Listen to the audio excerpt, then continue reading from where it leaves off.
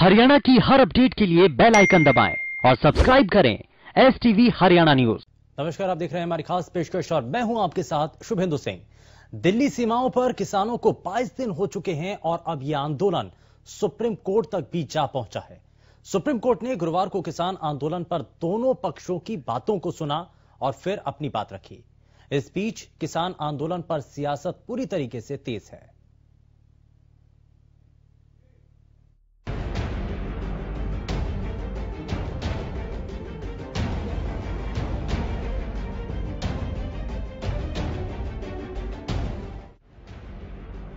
दिल्ली की सीमाओं पर किसानों का आंदोलन लगातार जारी है। आंदोलन को 22 दिन हो चुके हैं, लेकिन इस आंदोलन के समाधान का छोर निकलता नहीं दिख रहा।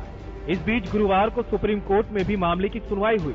सुप्रीम कोर्ट ने मामले में सुनवाई करते हुए कहा कि वो किसानों का पक्ष जाने बिना कोई निर्णय नहीं लेंगे। ऐसे में अभी सरकार और किसानों के बीच कमेटी बनाने पर कोई निर्णय नहीं हुआ। हालाँकि सुनवाई के दौरान अदालत ने कुछ सख्त टिप्पणी की, जिसमें प्रदर्शन को किसानों का हक बताया। इस दौरान चीफ जस्टिस ने क्या कुछ कहा, वो भी आपको बताते हैं। सुप्रीम कोर्ट में सुनवाई के दौरान जब याचिकाकर्ताओं की ओर से प्रदर्शनकारियों को सड़क से हटाने की मांग की गई तो चीफ जस्टिस ने कहा, प्रदर्शन करना किसानों का अधिकार है। राइट टू प्रोटेस्ट में कटौती नहीं कर सकते। अधिकार से दूसरे को दिक्कत ना आए, इस पर विचार हो सकता है। प्रदर्शन का भी एक लक्ष्य होता है। जिसका बातचीत से हल निकल सकता है। प्रदर्शन चलता रहे, लेकिन रास्ते जाम ना हो। पुलिस को भी कोई एक्शन नहीं लेना चाहिए। बातचीत से हल निकलना ज़रूरी है। कमेटी का गठन और उसके निर्णय आने तक कानून होल्ड पर रखे सरकार। एक तरफ़ तो किसान आंदोलन अब दिल्ली सीमाओं से होता हुआ सुप्रीम कोर्ट पहुँच गया है। वहीं दूसरी तरफ़ सिंगू बॉर्डर पर संत बाबा राम सिंह के किसानों के समर्थन में किए गए सुसाइड का मामला भी गरमाने लगा है। किसानों का आंदोलन तेज होने लगा है। दिल्ली की सीमाओं पर ही किसान आगे की रणनीति बना रहे हैं। तो वहीं इस मामले में सियासत भी जमकर हो रही है। कांग्रेस प्रदेश अध्यक्ष कुमारी सैलजा ने कृषि कानूनों के मामले में एक बार फिर सरकार को घेरा। सैलजा ने कहा कि सरकार आम लोगों की नहीं सुनती। अलोकतांत्रिक हथकंडे अपनाती है। किसान अपनी आवाज़ उठा रहे हैं। सरकार किसानों की आवाज़ नहीं सुनती। ठंड में भी किसान सीमाओं पर डटा हुआ है। सैलजा ने तीनों कानूनों को काले कानून बताते हुए कहा कि कांग्रेस हमेशा किसानों के साथ है। सरकार कोई भी हथकंडे अपनाती है। अलोकतांत्रिक ढंग के। लेकिन आम लोगों की आवाज़ सुनने की इनको आदत नहीं है। केवल एक मन की बात सामने आती है। लोगों के मन की बात कोई सुनने को तैयार नहीं। किसान अपनी आवाज़ उठा रहे हैं, ये उनकी आवाज़ सुनते नहीं है और किसान वहाँ पर ऐसे मौसम में भी बैठे हैं हड़ताल पर। लोकतंत्र है, आज नहीं तो कल। इन्हें किसानों की, मजदूरों की आवाज़ सुननी पड़ेगी। और कांग्रेस पार्टी, हमारे किसानों की लड़ाई लड़ती रहेगी। हम पहले भी लड़ रहे हैं। ज़मीन से लेकर, विधानसभा से लेकर संसद तक, और हम किसानों की लड़ाई लड़ते रहेंगे। राहुल गांधी जी ने स्टैंड अपना पूरा क्लियर किया हुआ है इन तीनों काले कानूनों के खिलाफ। तो वहीं कांग्रेस से राज्यसभा सांसद दीपेंद्र हुड्डा ने भी कृषि कानूनों को लेकर सरकार की मंशा पर निशाना साधा है। दीपेंद्र हुड्डा ने कहा कि सरकार हट धर्मिता को छोड़कर किसानों के लिए विनम्रता दिखाए। हुड्डा ने आगे कहा कि सरकार कहती है कि तीनों कृषि कानूनों को किसानों के हित के लिए लाया गया है। लेकिन जब किसान इन कानूनों को नकार रहे हैं तो फिर सरकार जिस पर क्यों अड़ी है? तो सरकार जब मानेगी किसान की बातें, तीनों बिलों को वापस लिया जाएगा। ये आज सरकार विनम्रता दिखाए, संवेदनशीलता और मामले की गहराई तक जाए। देश की, देश का किसान एकजुटता से, एक भावना से किसान के, सरकार के दरवाजे पे आया है। बड़ा दिल दिखाए, अपनी जिद छोड़े। राजहट और हट धर्मिता दिखाने का ये समय नहीं है। ऐसी क्या जिद हुई? आप स्वयं कह रहे हैं कि किसान के हक में लाए हम किसी औद्योगिक जो है घराने के हक में नहीं लाई ये बिल। तो जब आप कह रहे हैं किसान के हक में लाए हैं और देश का किसान कह रहा है कि भाई हमें नहीं चाहिए आप इसको वापस ले लें तो आप वापस क्यों नहीं लेते? ये बताएँ। हालाँकि सरकार लगातार यही कह रही है कि कानून किसानों के आमदनी को दुगनी करने के लिए बनाए गए हैं। केंद्रीय राज्य मंत्री रतनलाल कटारिया ने कृषि कानूनों पर अपनी बात रखते हुए कहा कि ये दुख की बात है कि किसान आंदोलन 22 दिनों से चल रहा है, जबकि सरकार ने किसान नेताओं को बातचीत के लिए बुलाया है। सरकार ने साफ़ कहा है कि एक एक मुद्दे पर चर्चा होगी और कानूनों में जिन मुद्दों पर सहमति नहीं बनेगी, उनमें बदलाव किए जाएँगे। हालाँकि रतनलाल कटारिया ने ये भी साफ़ कर दिया कि सरकार कानूनों को पूरी तरह से रद्द नहीं करेगी। बड़े दुख की बात है कि 22 दिन से किसान आंदोलन इन कृषि कानूनों को लेकर चल रहा है। और भारत सरकार ने लगातार किसान संगठनों को पेशकश की है कि वो बातचीत की टेबल पर आए और क्लास बाय क्लास इन कानूनों के ऊपर डिस्कशन करें। और जहाँ पर भी किसानों को लगता है कि यहाँ बदलाव की ज़रूरत है, भारत सरकार वो बदलाव करने के लिए सहमत है। लेकिन भारत सरकार ने इस बात से इनकार कर दिया है कि रिपील ऑफ़ द एक्ट, के उन कानूनों को, सारे के सारे को वापस ले लिया जाए, इसका कोई औचित्य नहीं बनता, क्योंकि सोच समझकर वो कानून किसानों के हित में बनाए गए हैं।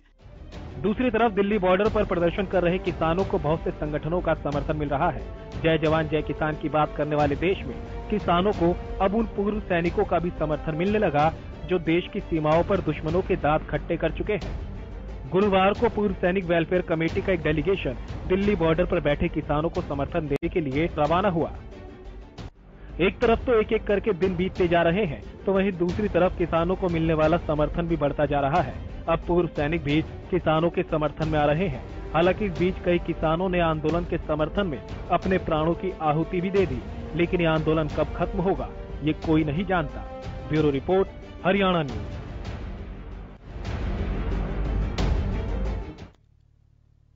तो ये रिपोर्ट आपने देखी है और इस रिपोर्ट के ज़रिए बहुत हद तक आपको अंदाज़ा लग चुका होगा कि मौजूदा वक्त में स्थिति क्या है।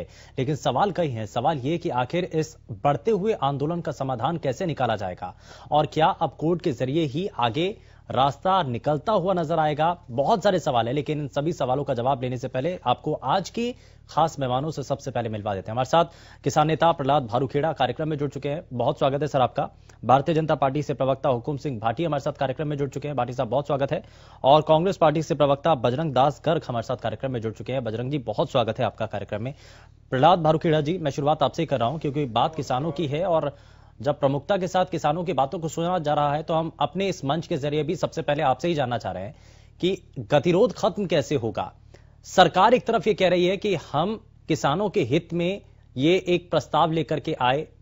कानून हमने इससे पहले तक दिया, आपकी आशंकाएँ थी, आपने आपत्तियाँ दर्ज की, हमने संशोधन करके एक प्रस्ताव आपके पास भेज दिया है। तो अब आपत्तियाँ जो आपके द्वारा थी, उनको दूर कर दिया गया। क्या ऐसा नहीं होना चाहिए कि बातचीत के ज़रिए आगे कदम बढ़ाने चाहिए, किसान संगठन नेताओं को भी इस बारे में विचार करना चाहिए, और इस गतिरोध को कैसे खत्म किया जाएगा? हमने बातचीत से कभी मना नहीं किया है। जब जब सरकार ने बातचीत को लिए बुलाया, किसान जथेबंदियाँ बातचीत के लिए गई है और बातचीत हुई है।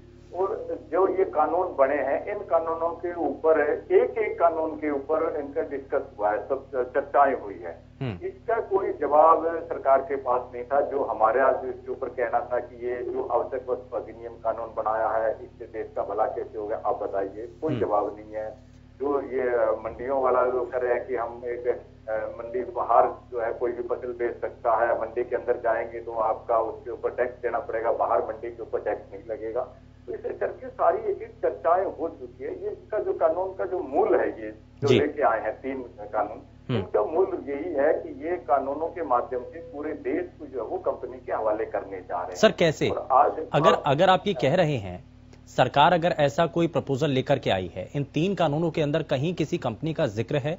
क्या ये कहीं दिया गया है कि इन कंपनियों को फ़ायदा पहुँचाया जा रहा है? आप नाम लेकर के बार बार कहते हैं किसान संगठन के नेता कि अडानी और अंबानी को इसमें फ़ायदा पहुँचाया जाएगा। क्या किसी भी कानून के अंदर ये लिखित तौर पर दिया गया है या कहीं से भी आपको अंदेशा है कि इन कंपनियों को फ़ायदा पहुँचाया जाएगा? बिल्कुल है ये तो साफ़ है जग ज़ाहिर है कि जितनी ये बड़ी कंपनियाँ हैं और देश के अंदर जो अडानी अबानी है, उन्हीं के इशारे पे ये सरकार चल रही है। अब ये पहले से गोडाउन बन रहे हैं, इनको कैसे सपना आ गया कि यहाँ पे जो ये कानून ऐसे आएँगे हो गए, ये गोडाउन बना रहे हैं, पहले से एडवांस के अंदर ही, पहले से सारी एक साजिश है, तय हो चुके हैं, सारी चीज़ें। खेती जो है एक बहुत बड़ा एक व्यवसाय है बिज़नेस है। उसको पहले तो इन्होंने नीतियों के ज़रिए इस खेती को घाटे में लेके आए और ऐसा हालात देश के अंदर पैदा करके कि किसान जो है आत्महत्या करने को मजबूर हो गया। अब बीस बाईस दिनों से हम यहाँ पे बैठे हैं धरना लगाए। आप भी देखा कल जो है बाबा संत राम सिंह जी है उन्होंने जो है शहादत दी है अपने प्राणों प्राणों का बलिदान जो इन्होंने कर दिया है। ये उनकी शहादत को जो ये देश कभी भुला नहीं पाएगा और उनकी शहादत को हम व्यर्थ नहीं जाने देंगे। इतनी बड़ी जो कुर्बानियाँ जो किसान देते आ रहे हैं, यहाँ काफ़ी लोगों की जो है तीस पैंतीस जो किसान अब तक जो उनकी मौत हो चुकी है जो आंदोलन के दौरान तो ये कोई ऐसे पागलपन में और ऐसे नहीं बैठे हैं कि अंधेरे के अंदर बैठे हों की और ये सारी चीज़ों की समझ के बाद में ये इतना बड़ा फैसला लिया गया है जो दिल्ली की तरफ़ हमने कोशिश किया कि ये अब तो हमारे जीने और मरने की ये लड़ाई है। अगर ये कानून देश के अंदर लागू होते हैं तो वो हालात वही हो जाएँगे जो पहले ठीक है। हर हर एक चीज़ पर जरा बात करते हुए चलते हैं। मैं जरा आप रिएक्शन भी लूँगा इस पर हुकुम सिंह भाटी जी से। मैं जरा पहले जल्दी से जवाब ही ले लेता हूँ। भाटी साहब इस पर क्या कहना चाहेंगे? ये जो शंकाएँ हैं किसानों की ये जो किसानों की जो थोड़ा सा जी जो शंकाएँ हैं किसानों के मन में उनको डर है कि प्राइवेट प्लेयर्स आएँगे और वो सब कुछ हाईजेक कर लेंगे जमीनों पर कब्जा हो जाएगा ऐसे बहुत सारी जो आशंकाएँ हैं वो किसानों के मन में हैं। उनको सरकार दूर क्यों नहीं कर पा रही है? और जो शंकाएँ अभी तक भी किसानों के मन में अब घर कर चुकी हैं जो किसान संगठन के नेता या बाकी किसान सदस्यों के बीच में बार बार ये बताया जा रहा है क्यों नहीं इन चीज़ों को साफ़ कर पा रही है सरकार इतने समय में भी? सुमेंद्र जी पहले तो ये कैलाश सिंह जी इनका थोड़ा पूरा नाम जरा एक बार बताइए दोबारा से। प्रहलाद भारूखेड़ा जी है हमारे साथ किसान नेता हैं। भारूखेड़ा? जी। अच्छा ठीक है ठीक है ठीक है। देखिए सुमेंद्र जी जी। मैं सबसे पहले हमारे भाई ये कैलाश सिंह भारूखेड़ा जी बोल रहे थे। मेरे को लगा ये कैलाश सिंह गीला खेड़ा है। मैंने कहा कांग्रेस के नेता को आपने बुलाया नहीं, नहीं, है किसान नेता करके तो यही तो सारी समस्या की जड़ है। हम्म। चलिए ठीक है। ये मैं पहला सिंह जी भारू खेड़ा जी का सम्मान करता हूँ। हम्म। हमारे किसान नेता हैं। भाटी साहब किसान को किसान ही समझिए सबसे पहले एक बड़ी विडम्बना है इस सारे कानून के संदर्भ में जी। कि देखिए बहुत सारे किसान संगठनों ने इसका समर्थन किया। हम्म। और आज भी समर्थन कर रहे हैं। लेकिन जो लोग धरने पर बैठे हैं, वो मैं सीधे तौर पर कहूँ कि वो कहीं ना कहीं या तो राजनीति से प्रेरित हो गए हैं, या उनको कहीं शंकाएँ इस तरह की हैं कि वो बातचीत नहीं करना चाहते। लेकिन बातचीत क्यों नहीं करना चाहते? आपको जहाँ जहाँ शंका है, अब मान लिया सुप्रीम कोर्ट ने कमेटी बना दी, जैसे कि प्रपोजल चल रही है, अभी नहीं बन पाई है, लेकिन सुप्रीम कोर्ट उस तरफ़ बन रहा है तब भी तो किसानों को बातचीत करनी पड़ेगी। तो कोई एक शब्द में ये कह देना कि ये कानून गलत है वो कहीं भी तार्किक और तर्कसंगत नहीं है। हम्म। इसलिए किसान नेताओं को इस विषय पर बातचीत करनी चाहिए। जहाँ उनकी शंकाएँ वो तो तैयार है, सरकार उसका निराकरण किसान संगठन नेताओं ने उनको दूर ऐसा तो कहा नहीं कि वो तैयार नहीं है बातचीत के लिए। बातचीत के लिए तो वो भी तैयार है। रूप में उनको ठीक करने के लिए सरकार तैयार है। दूसरी बात सुवेंद्र जी, अब मैं आता हूँ। इन्होंने कहा कि ये इसीलिए गोडाउन बन रहे थे, इसीलिए सारा अग्रवाल, एक अग्रवाल कंपनी है जो जो ट्रांसपोर्टेशन का काम करती है। मैं समझता हूँ ऐसा कोई जिला नहीं है जो उनके गोडाउन नहीं हो।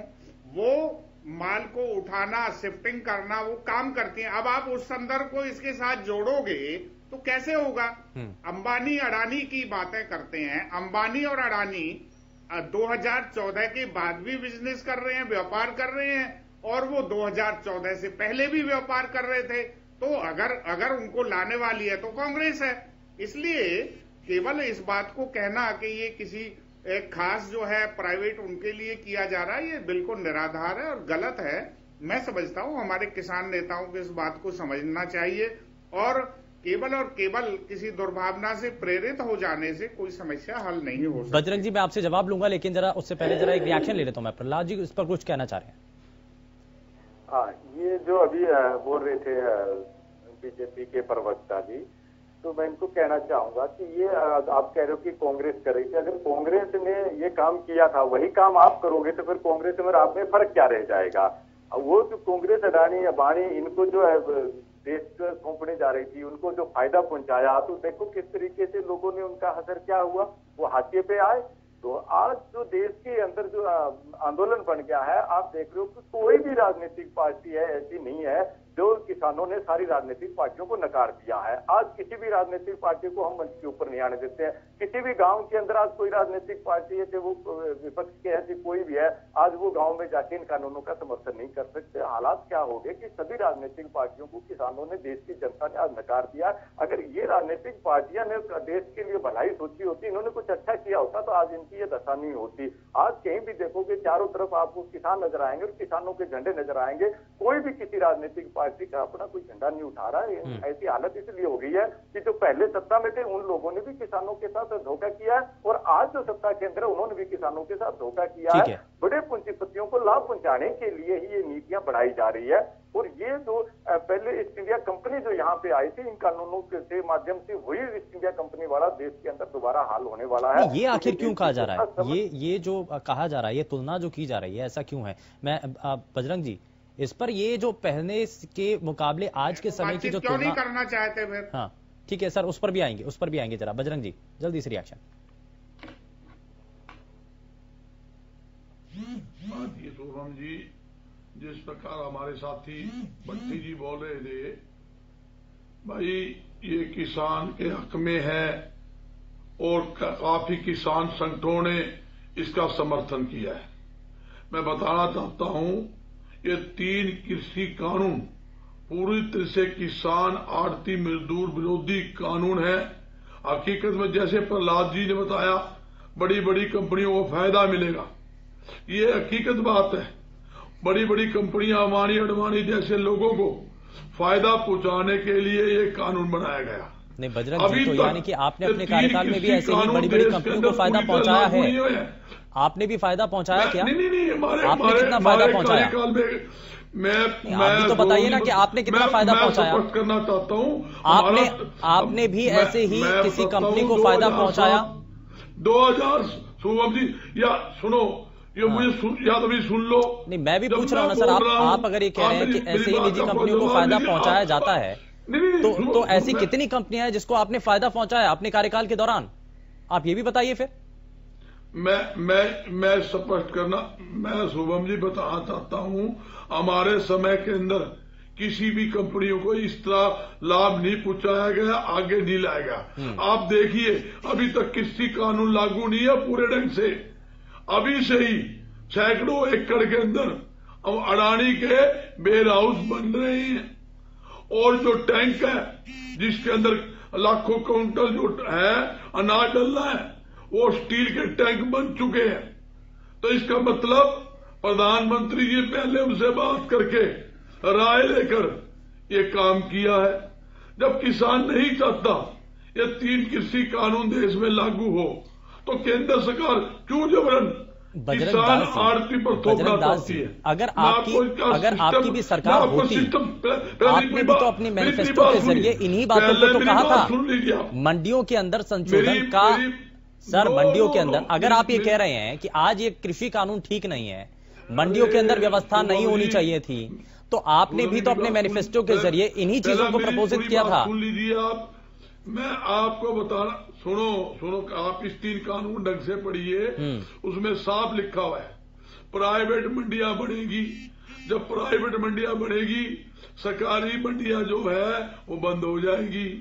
और किसान जो अपनी फ़सल मंडियों में प्राइवेट बेचने जाएगा एमएसपी कौन देगा?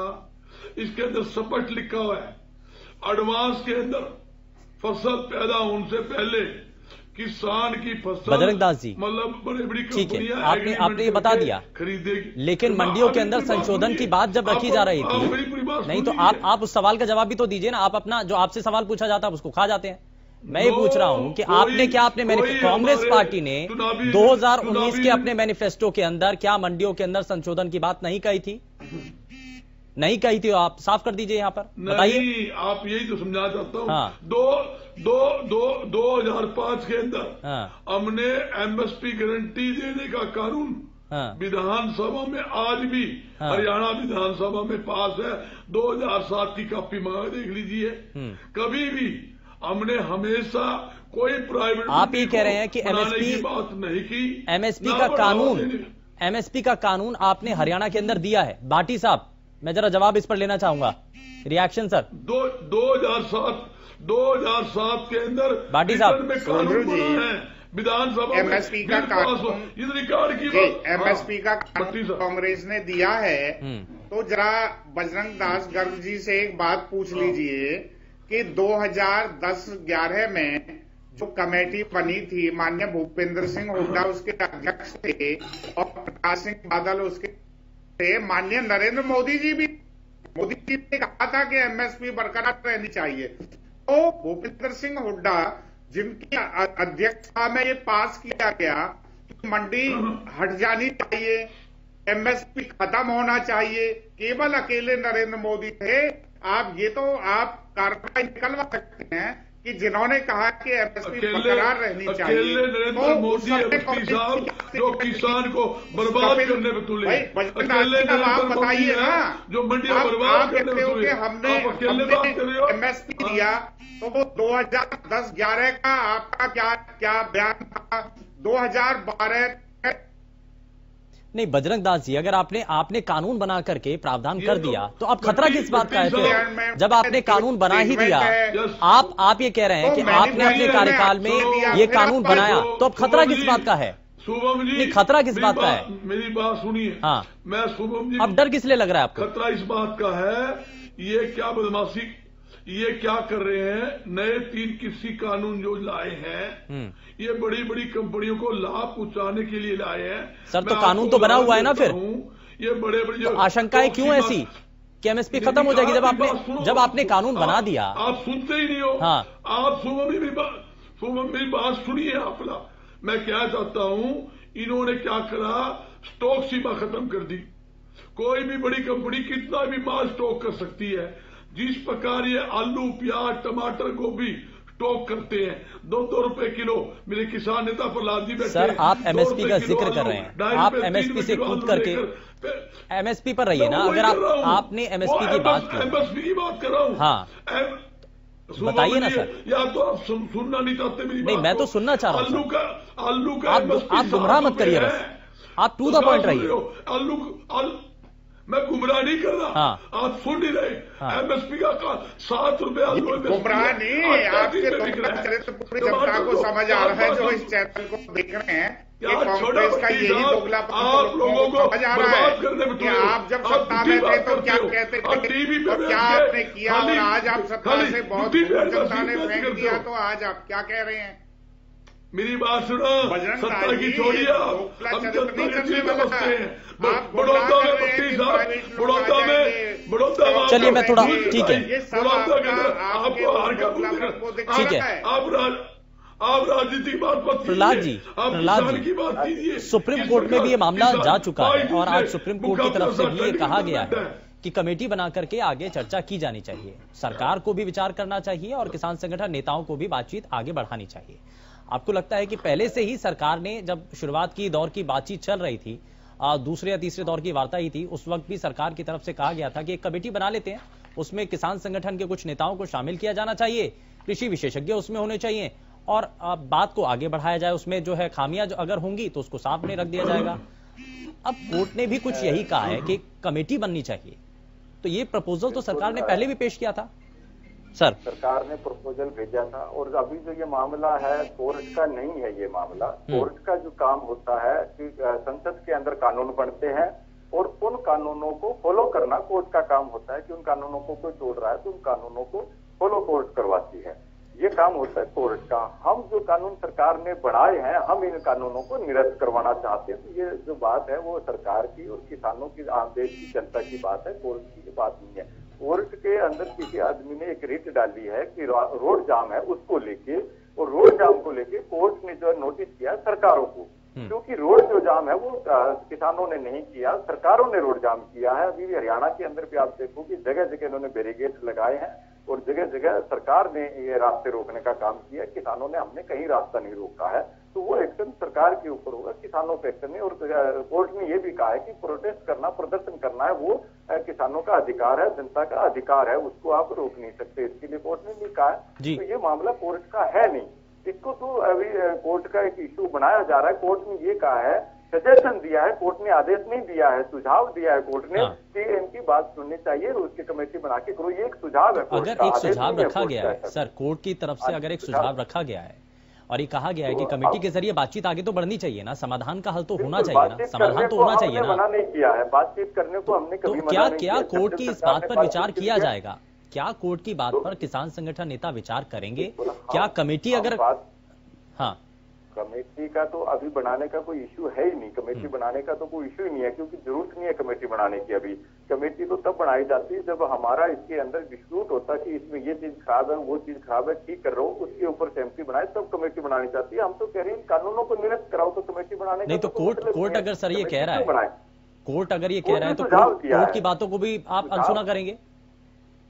कोर्ट ने सुझाव दिया है। हम्म। कोर्ट ने सुझाव आदेश नहीं दिया है कोर्ट ने हम्म। सुझाव दिया है। हमारी जो बातचीत इनके साथ हो चुकी है बीजेपी के कृषि मंत्री से भी हो चुकी है, इनके नेताओं से भी हो चुकी है डिस्कस हुआ है। ऐसा नहीं है कि बात नहीं हो, सब चीज़ें बात होगी। उसके बावजूद हमने कहा है कि ये कानून जो है उनको निरस्त करो इससे कम जो है वो आंदोलन वापस नहीं होगा और। एमएसपी खरीद गारंटी कानून बनाया जाए ये बार बार कह रहे हैं हम आश्वासन देंगे हमने कहा आश्वासन से काम नहीं चलेगा हम्म। आप एमएसपी खरीद गारंटी कानून बनाओ और जितने प्रकार की फ़सलें पैदा होती है अलग अलग राज्यों के अंदर अलग अलग फ़सलें होती है उनके लिए खरीद की अ, एक एक जो फ़सल का दाना है वो खरीदा जाए ये गारंटी सरकार ले क्योंकि सरकार जब फ़सल खरीदेगी तभी किसानों को उसका ठीक है जरा इस पर भी बात करेंगे इस पर भी बात करेंगे। दो चीज़ें हैं यहाँ पर। एक तो गतिरोध आखिर खत्म कैसे हो? क्योंकि कमेटी बनाने की जब बात यहाँ पर की जा रही है तो क्या इसके ज़रिए ही बात आगे बढ़ पाएगी? या किसान संगठन नेता इस बात को जैसा कि नामंजूर कर रहे हैं क्या आगे भी इसी तरीके से चीज़ें चलेंगी? और एमएसपी का जो कानून बनाने की बात की जा रही है सभी फ़सलों पर तो इससे पहले तक कितनी फ़सलों पर अभी तक एमएसपी तय थी? और क्या इस पर लिमिट भी थी? अगर कोई भी फ़सल सरकार खरीदती थी एमएसपी पर, सरकारी मंडी में एपीएमसी के तहत तो कितनी फ़सलों की खरीद हो पाती थी? ये इसको लेकर के और सभी खास मेहमान लगातार हमारे साथ कार्यक्रम में बने हुए हैं। जरा जल्दी से आगे बढ़ते हैं। मैं जरा भाटी साहब ये कमेटी बनाने का जब से चर्चा शुरू हुई है सरकार इस, इसको इससे पहले भी इस पर बात कर चुकी थी लेकिन अब आपको लग रहा है कि कमेटी के ज़रिए समाधान निकल सकता है क्योंकि किसान तो बार बार ये कह रहे हैं। संगठन के नेता ये कह रहे हैं कि कमेटी बनाने से कोई इसका फ़ायदा नहीं होगा क्योंकि तीन कृषि कानूनों को रद्द करने से कम पर बात आगे बढ़ेगी ही नहीं। एक बड़ी स्वस्थ चर्चा यह एक बड़ी स्वस्थ चर्चा। पहला सिंह जी बहुत मेरे को बड़ा सीरियस और ठीक नज़र आ रहे हैं क्योंकि रोज़ाना राजनीतिक इस चर्चा में टीवी चैनल पर आना हो रहा है लेकिन मुझे काफ़ी मतलब सीरियस इस इशू से जुड़े हुए नज़र आ रहे हैं। मैं इसलिए प्रहलाद सिंह जी माफ़ करना मैंने आपको बड़ी स्वस्थ चर्चा मतलब आपके साथ समझ के मैं इस चर्चा को कर रहा हूँ। आप कहते हैं कि कमेटी बनाने का कोई औचित्य नहीं है। एमएसपी का कानून बनाया जाए कि सरकार हर हालत में एमएसपी पर खरीदेगी लेकिन, और सरकार ने गारंटी दी है कि हम लिखेंगे कि एमएसपी जैसी व्यवस्था आज है, वैसी व्यवस्था रहेगी। दूसरी बात, किसान को एक बात समझनी चाहिए कि केवल और केवल किसान ही इसका आधार नहीं है। उसके अलावा जीवन के लिए और बहुत सारी चीज़ें भी चाहिए। तो अगर और बाकी भी कहने लगे कि सरकार गारंटी दे कि हम जो बनाएँगे वो 100 परसेंट सरकार खरीद लेगी तो फिर क्या वातावरण बनेगा, आप समझ सकते हैं क्या? दूसरी बात, आप एमएसपी की जो कहते हैं, गारंटी हर हालत में एमएसपी एवरी टाइम रहे। आपका कहना ये है शुभेंद्रू जी? जी। किसान नेताओं का कहना ये है हम्म। कि जब भी किसान जाए उसका एमएसपी पर बिक जाए हाँ। शायद गुना घटा नहीं कर पाए हैं। हम्म। इसके लिए देश का पूरा की पूरा बजट लग जाएगा फिर भी उसके बावजूद पूर्ति नहीं होने वाली है। हाँ। इसलिए इसलिए ये किसान नेताओं को समझना चाहिए हम्म। ये सबसे बड़ी कांग्रेस सरकार जिसने किसान को का शोषण किया जिसने किसान का खून चूसा बजरंग दास जी बड़ी लंबी बातें करते हैं। कर्जा माफ़ी, किसान को कर्जा माफ़ी दे दिया, उसको माफ़ी का रास्ता दिखा दिया, आज तक किसान की हालत नहीं सुधर पाई देखिए, हालत सुधरनी तब शुरू होगी जब किसान अपने पैरों पर खड़ा होगा। ये कानून, तीनों कानून किसान को सशक्त बनाते हैं। ये बातें इधर उधर की करना कि प्राइवेट उसको बढ़ावा देंगे, उसको बढ़ाएँगे, ये बिल्कुल कहीं कहीं टिकती नहीं है ये बातें ये आधारहीन बातें हैं। इसलिए कमेटी में बैठ करके इस कानून में कहाँ खामियाँ है उस पर चर्चा की जाए तो बात ठीक लगती है। हाँ। केवल ये कहना कि कानून को निरस्त करो ये कहीं नहीं टिकता है। ये केवल और केवल एक भाटी साहब है। भाटी साहब मैं एक सवाल इसमें एक सवाल और किसान संगठन नेता बार बार ये कह रहे हैं। शुभेंद्र जी। हाँ। नहीं नहीं एक ज़्यादातर किसान किसान जो जो संगठन है वो इसके हक में आ चुके हैं। ये चंद किसान संगठन है और तथाकथित किसान संगठन है जो कहीं ना कहीं राजनीति से प्रेरित हैं और जो सच्चाई को समझना नहीं चाहते।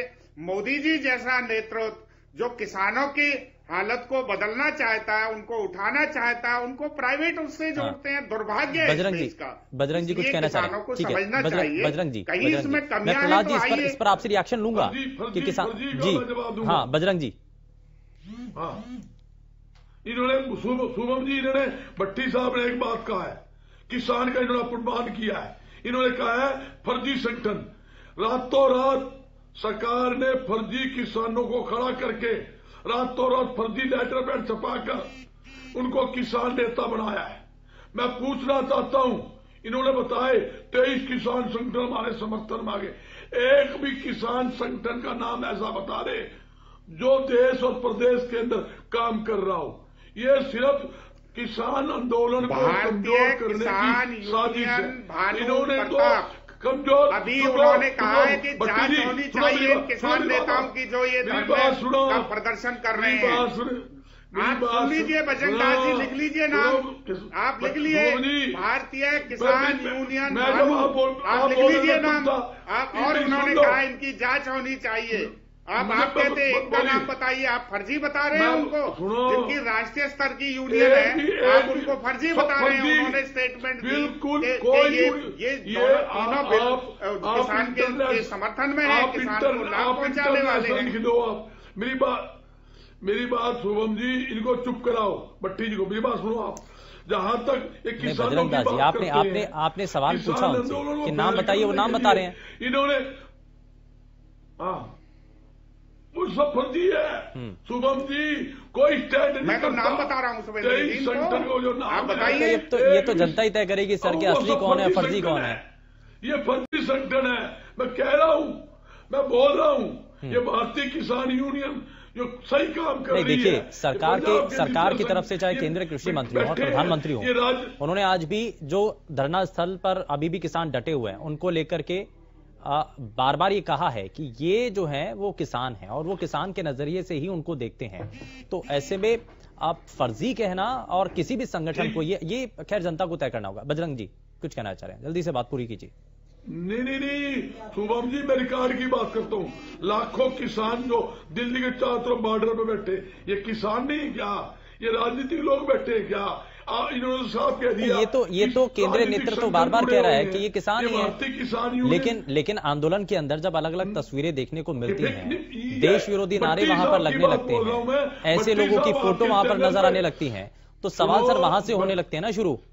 और जब कुछ राजनीतिक दल इसमें बैकएंड पर अपनी राजनीति साधने के लिए कोशिश करते हैं। सरकार ने हाँ, ठीक है मैं जरा प्रहलाद जी प्रहलाद जी मैं आपसे ही सवाल करना चाह। रहा सरकार ने हूँ कि अब बातचीत कैसे बढ़ेगी आप आप ये कह रहे हैं कि कमेटी के ज़रिए तो बातचीत नहीं होगी। कमेटी बनाने का औचित्य नहीं है।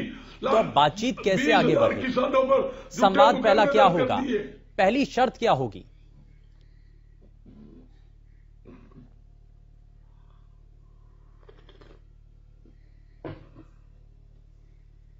प्रहलाद जी प्रपोजल भेजी सरकार ने हमने उस प्रपोजल को ठुकराया और सरकार को ये कहा।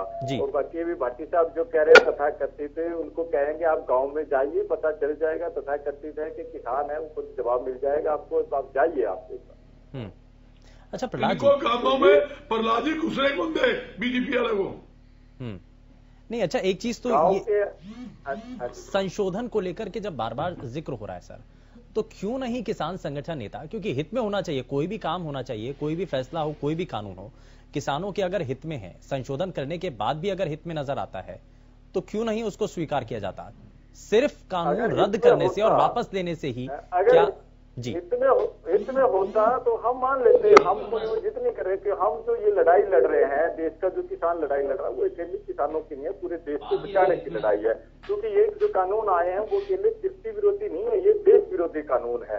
इसे पूरे देश के अंदर आम जो जनता है वो चाहे खेती करने वाला है चाहे वो झाड़ी करने वाला है चाहे वो कर्मचारी है चाहे नौजवान है छात्र है सबके ऊपर इसका प्रभाव पड़ेगा। ये देश को गुलाम बनाने के कानून आ रहे हैं इसलिए कैलाश सिंह जी एक भी क्लाज बताइए जो देश विरोधी है। कैलाश सिंह जी आप एक क्लाज आवश्यक बता दीजिए कि ये क्लाज में यहाँ लिखा है ये देश विरोधी है। आप बताइए ना। आप बताइए केवल और केवल देश विरोधी कह देने से क्या वो देश विरोधी हो जाएगा क्या? आप बताइए कौन सा कौन सा? क्लाज है जो देश विरोधी है? किसका भला होगा? इसमें किसका इसमें किसान का भला होगा। आप लोग किसान का भला होने नहीं देखना चाहते। आप किसान सोशल कांग्रेस करती रही है आप उसको बढ़ावा देना चाहते हैं। खरीद सकता है खाने पीने की लूटेगा, चीज़ों को। जनता किसका भला होगा बताइए समझा दीजिए हमें इसका मतलब इसका मतलब प्रहलाद सिंह जी आपने पढ़ा नहीं उस कानून को फिर कहीं ना कहीं हैं। ठीक है, भाटी साहब। एक बार फिर अध्ययन कर लो उसमें ये लिखा है कि अगर गाय सुनिए जरा भाई सुन भी लो ना आप सुनो जरा हैं, आप सुनो जरा उसमें उसमें ये लिखा है आप पढ़ना नहीं चाहते आप एक भी पॉइंट नहीं बताना चाहते आप तो भाषण करते हैं नेताओं की तरह। आप बताना नहीं चाहते आप क्लास बताइए ना जो देश विरोधी है। आप क्लास बताइए मेरे को। आप एक क्लास का नाम लीजिए। अगर आपने वो कानून पढ़ा है तो एक क्लास का नाम लीजिए कि इस क्लास में ये लिख रहा है ये देश विरोधी है। आप ऐसे कैसे कह देंगे कि वो देश विरोधी है?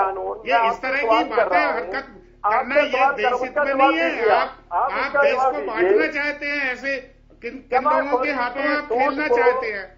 अच्छा, ठीक है, ठीक है, मैं- मैं जरा- प्रहलाद जी, प्रहलाद जी। भला होगा आप बता आप दीजिए एक प्रहलाद प्रहलाद बताइए भानुखेड़ा जी ठीक है भाटी साहब एक मिनट भाटी साहब एक मिनट। भाटी साहब एक मिनट। बनकर आए हैं भाटी साहब भाटी साहब एक मिनट ठीक है। ठीक है। प्रहलाद जी कौन सा क्लास है जो देश विरोधी है? प्रहलाद जी सा ठीक है है। भाटी साहब ठीक है जरा सुन लेते प्रहलाद जी मैं इसमें एक चीज़ आपसे ये भी जानना चाह रहा हूँ कि जब विरोध हो रहा है तो आखिर क्या ऐसे मुख्य कारण है? क्यों इससे पहले तक क्या किसानों की स्थिति ठीक थी? क्या संशोधन की मांग मंडियों के अंदर अलग अलग समय पर होती नहीं रही है कि बदलाव होना चाहिए? क्योंकि अलग अलग रिपोर्ट्स भी ऐसी रही हैं जिसमें कहा गया कि किसान की अगर आय बढ़ नहीं पाई है तो उसका एक बड़ा कारण है मंडियों के भीतर की व्यवस्था। इसमें संशोधन के लिए अलग अलग रिपोर्ट्स आती रही हैं। बार बार ये मांग उठती रही है कि मंडियों के अंदर की इन व्यवस्थाओं से किसानों को अलग करना होगा। क्या इस बात से आप संतुष्ट हैं? क्या आप ये सहमत हैं इस बात से? बिल्कुल आपको मैं कहना चाहूँगा कि कोई आदमी बीमार हो जाता है तो उसको क्या करेंगे? हॉस्पिटल लेके जाते हैं, उसका इलाज करवाते हैं। ये तो नहीं है ना कि बीमार हो गया कि चलो सीधा शमशान घाट उसको फूंकाओ अगर मंडियों की व्यवस्था ठीक नहीं है, उसमें गड़बड़ है, वो बार बार हम कहते भी रहे हैं, आवाज़ भी उठाते लेकिन उनको ठीक करने की बात की ये थोड़े की है कि आप इसको साफ़ ही कर दो बिल्कुल इसको खत्म ही कर दो। इन्होंने हमारे जितने भी है ये चीज़ें आई है रेलवे इन्होंने बेचा है हवाई जहाज़ इन्होंने बेच दिए हैं शिक्षा के संसाधन जो है वो प्राइवेट हाथों में नहीं सर, ये- ये फिर- हमारा प्राइवेट हाथों में चला गया है। तो ये सारा जो निजीकरण हो रहा है रेलवे इन्होंने कर दिया निजीकरण ये जो निजीकरण का जो दौर चल रहा है जिसमें सारी चीज़ें जो है प्राइवेट लोगों के हाथ में दी जा रही है उससे आम जो जनता है वो पिस जाएगी। और ये पूरा का पूरा जो सिस्टम जो बन, बनने जा रहा है तो प्राइवेट कंपनियों के द्वारा सर मैं मैं ठीक है। मैं मैं एक और सवाल आपसे पूछना चाह रहा हूँ कि मंडियों के अंदर जब किसानों की आय नहीं बढ़ पा रही थी उसका असल मायने में जिम्मेदार कौन था? कौन जो किसान का फ़ायदा था जो मुनाफा था वो कौन ले जाता था? इसकी जिम्मेवार सरकार है क्योंकि तो सरकार जो है सर, अब तो ये गोलमोल जवाब। सरकार कानून बनाती है। हाँ। अगर सरकार ठोस कानून बनाएगी नियम बनाएगी गोल गोल जवाब नहीं है। हाँ। सही जवाब है बिल्कुल। है। क्योंकि इससे पहले तक सर आपकी सरकार थी। जो मंडी में फ़सल लेके इससे पहले तक सरकार आपकी भी थी। आपने इतने लंबे समय तक राज किया है बजरंग दास जी तो जवाब तो आपको भी देना पड़ेगा ना? आपने आज तक सरकार के द्वारा आपकी सरकार जितने कार्यकाल में रही आपने किसानों के लिए तो कुछ नहीं किया। प्रहलाद जी भी ये कह रहे हैं। सुमंत जी। जी। बिल्कुल नहीं हुआ है। मंडियों में जो फ़सल लेके आते हैं तो प्राइवेट व्यापारी एमएसपी से कम के ऊपर बोले लगाते हैं। इस के मंडियों के अंदर आपने बजरंग जी हैं अपने कार्यकाल के अंदर कोई सुधार नहीं किया। और इसी वजह से आज तक ये कहा जा रहा है कि किसान आत्महत्या करने को मजबूर होता है उसकी आय नहीं बढ़ पा रही है। सुबंध जी सुबंध जी आप मेरी बात जवाब ले लीजिए आपकी बात का। एक तो आपने कहा कुछ नहीं कहा। मेरे साथी बैठे बहत्तर हज़ार करोड़ रुपए का किसानों कर्जा माफ़ किया। 2005 में हरियाणा में सरकार बनी बनते ही पहली कलम से 1600 करोड़ रुपए का जो बिजली क्या उससे किसान की हालत सुधर गई क्या वो माफ़ दास जी ये भी बता दो। उसके अलावा नहीं किसान की हालत सुधर गई क्या? ओ भट्टी जी भट्टी सुनने करो सुनने सुनने की सुनने का मादा रखो। भट्टी जी आज जो बजरंग हमारे। किसान नेता प्रहलाद जी ने बात कही है उसका मैं समर्थन करता हूँ भी सुन लो आप सोम जी बात ना काटो आप सुनते ही नहीं मेरी बात की हम्म। नहीं, सुन रहे हैं आप। बोलने दे रहे हो मेरी आवाज़ बंद करवा रहे हो नहीं, बिल्कुल भी नहीं जी, विपक्ष की- विपक्ष की आवाज़ तो बुलंद की जा रही है। हम्म, बताइए नहीं मैं विपक्ष की बात नहीं है मेरी बात सुनिए आप हम्म। जी। जहाँ इनका मामला है आज एक किसान का मामला नहीं मंडी की व्यवस्था का मामला क्या है जब किसान फ़सल मंडी में लाता है सरकारी एजेंसी टाइम पे इनकी फ़सल नहीं खरीदती। और फिर नमी के नाम से एजेंसियाँ पैसे काटती है। हम्म। तीसरा समय पे उठान नहीं होता। जब तक फ़सल का उठान नहीं होगा और वो एफसीआई गोदाम तक अनाज नहीं जाएगा तब तक उनको सत्तर सालों से उठान होता था। नहीं मिलती। मंडियों के अंदर व्यवस्था ठीक थी। बीते छह साल से ये सब चीज़ें बिगड़ गई होता था हाँ। होता था। आपको आपको मैं ये बताना चाहता हूँ जी। ये बदलाव इन्होंने किया है हम्म। जो हमारे समय के अंदर कैसे? आप पता कर लो किसान ने कौन सा ऐसा कानून लिया है सर? जब किसान ये कानून तो खैर हाल फ़िलहाल में आया है हाल फ़िलहाल में ये कानून आया है लेकिन इससे पहले तक कैसे ओ नो नो सर गुमराह हम्म। मैं बता रहा हूँ पहले जी, बताइए। गुमराह नहीं हम्म। मैं इस लाइन से इस लाइन से जुड़ा हुआ हूँ। चालीस साल से एक एक मंडी कर रग रग जानता हूँ आप सुनो नहीं तो किसान की आय किसने नहीं बढ़ने दी? जैसे क्या सिस्टम है मैं तो प्रहलाद जी से भी- ये जानना चाह रहा था बजरंग दास जी। ये किसानों की आय जो नहीं बढ़ती थी असल मुनाफा कौन खा जाता था? हैं। जरा बताइए तो सही ना बजरंग जी। मंडियों के अंदर आपने काम किया है। हाँ। दान दान की मेरा सवाल ये है कि किसानों की आय बढ़ने का दान की खरीद। हाँ। तो आप सर जवाब जवाब दीजिए ना। किसानों का जो असल मुनाफा जो किसानों को होना चाहिए वो बीच में कौन खा जाता है? कौन खा जाता है जरा बताइए ना ये खाती है सरकारी एजेंसियाँ हाँ। सरकारी अधिकारी जो अरबों रुपए का धान घोटाला अरबों रुपए का सरसों घोटाला आज जो बाजरा है इक्कीस सौ पचास रूपए एमएसपी रेट है बारह सौ रूपए में किसान का बाजरा खरीदा जा रहा है मंडियों के चलाई है आप आपने चेक कर लो। इलाज नहीं किया इनका ये सुनो ये अफसरों का इलाज किया? भ्रष्टाचार, बताइए जरा, सुमन जी, आप 2005 सुनो से पूरा। 2014 इनको तक जवाब नहीं है आप बताइए। करते हैं? किसान किसान सरकार के सरकार के सरकारी अफसर घोटाला 1200, कर रहे थे, तो आपने खरीद कर 2005 से 2150 के अंदर 2014 में सरकारी कितने अफसरों को अंदर किया है? जरा बता दीजिए। करते हो? इन्होंने लूट लिया किसानों को। अरबों रुपए का घोटाला इन्होंने कर लिया। बाजरा में सरसों में धान में। और आज ये बोलते हैं कि हमने कुछ नहीं किया। मैं ये बताना चाहता हूँ सुमन जी किस प्रकार किसानों को मंडी की आड़ में लुटा जा रहा है? सरकार की जो चेते हैं ओने पौने के अंदर आज देख सरसों थी। सरसों इन्होंने पैंतीस सौ लेकर सैंतीस तक खरीद कर चौवालीस सौ पच्चीस रुपये में एमएसपी में एफर्ट को चेप दी। सरकार के चेते माल खा गए। ठीक है। आज आज जो किसान को मिलता कहा मैं भाटी साहब, ठीक है इक्कीस सौ पचास की एमएसपी बाजरे की है। भाटी साहब, भाटी साहब तो, कमेटी कमेटी बनाने के लिए तो सरकार आगे बात बनती ठीक है सर। ठीक है बजरंग जी बजरंग जी मैं वापस जरा पॉइंट पर आता हूँ। भाटी साहब अब आगे बातचीत कैसे बढ़ेगी? सरकार की तरफ़ से क्या पहल होगी? या इंतज़ार किया जा रहा है कि किसान संगठन नेता इस विषय पर आगे बातचीत के लिए खुद कुछ कहें? क्या इंतज़ार हो रहा है? सुमन जी मैं आपकी बात पर बिल्कुल आऊँगा।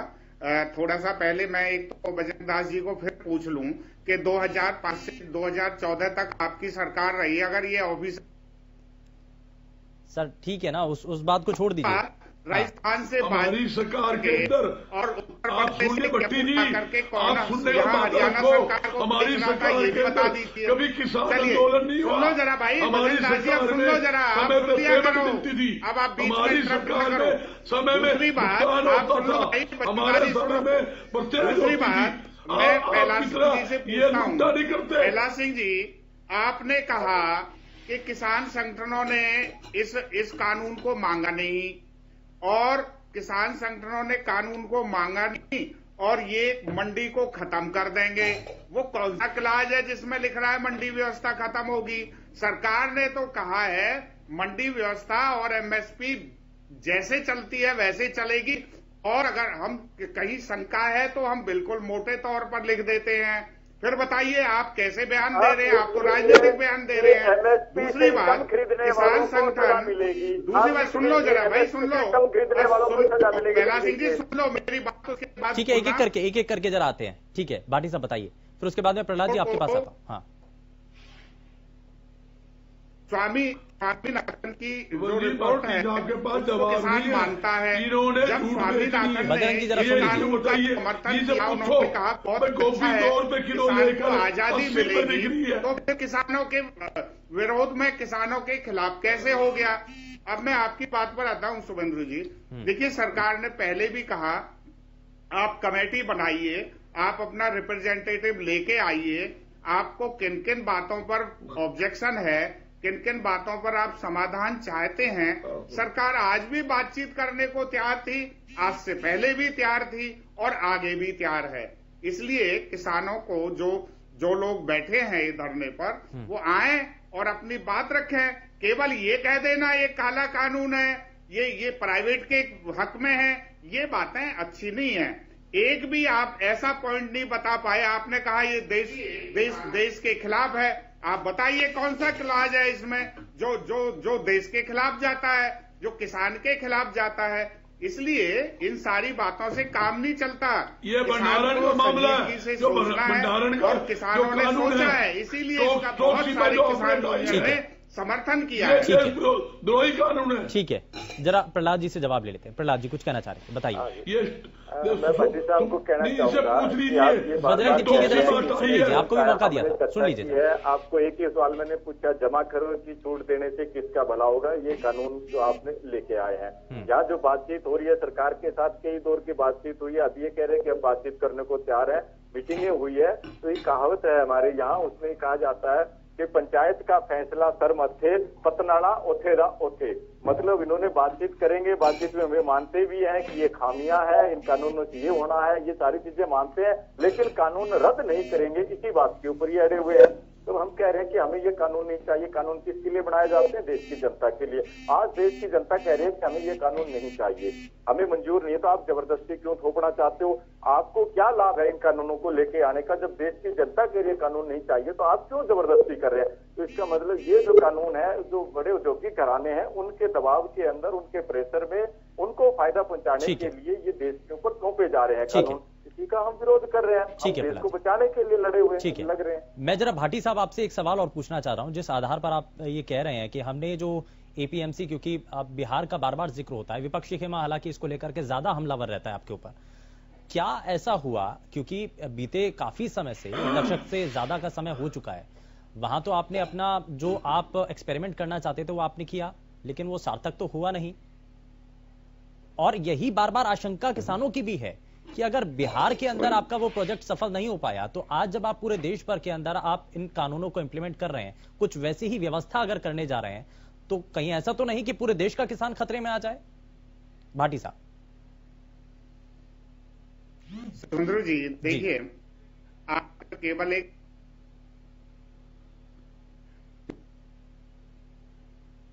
पहले के समय सरकारों का क्या था? और जब उसके बाद जो सरकार, जो भारतीय जनता पार्टी के अलायंस में बनी तो उसमें कितना बड़ा नीतीश नीतीश जी ने जो सरकार चलाई, ज़मीन और आसमान का अंतर है दोनों के बीच में।